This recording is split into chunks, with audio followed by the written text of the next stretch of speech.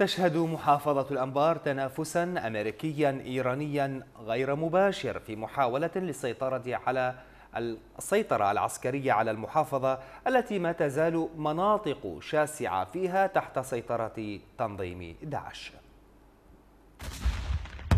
في خضم وطأة الحرب التي تخوضها الحكومة العراقية في مواجهة تنظيم داعش تسعى بعض الأطراف المحسوبة على إيران إلى دخول مناطق تابعة لمحافظة الأنبار لفرض سيطرتها العسكرية عليها في حين تبدي القوات الأمريكية اهتماما كبيرا بالمحافظة.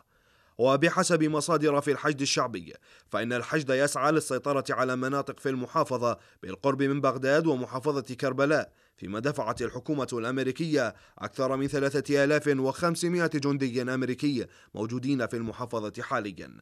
في الأثناء شكلت القوة الأمريكية في قاعدة عين الأسد الواقعة بناحية البغدادي ثلاثة أفواج قتالية من مقاتلي عشائر البمحل والعبيد والراويين والعانيين وعشائر أخرى. تم تدريبهم وتسليحهم وتجهيزهم بمعدات أمريكية للمشاركة بمعارك استعادة ما تبقى من مناطق الأنبار.